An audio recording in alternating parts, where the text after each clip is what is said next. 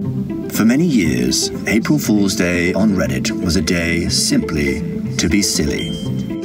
But in 2013, the community was split into teams that would wage the great war of Orange Red versus Periwinkle. The shift from humorous to curious would mark 2015's The Button.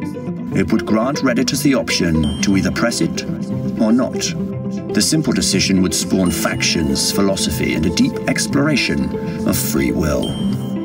A year later, choice would go communal in 2016's Robin, which randomly placed people in rooms to collectively decide whether to combine with those of equal size.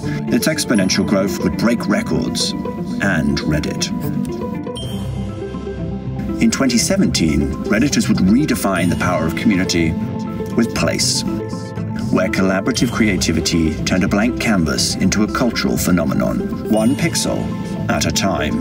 The community had grown and created with each other, but could they trust each other? 2018's Circle would attempt to answer this by gamifying betrayal. It would produce the only uncontested opinion in the history of the internet. 2019 brought Sequence, a tool designed to allow the community to create a motion picture entirely written, directed, and edited on the internet. It would deliver a film that critics called a modge podge of absolute shit, and Place was better. Reddit would return with bleeding edge technology in 2020's Imposter, where an artificial intelligence would gradually become indistinguishable from the community it learned from. It learned that Place was better. In 2021 came Second, which challenged Redditors to correctly predict the most popular second most popular option without making it the most popular option, causing the most popular option to be the second most place was better.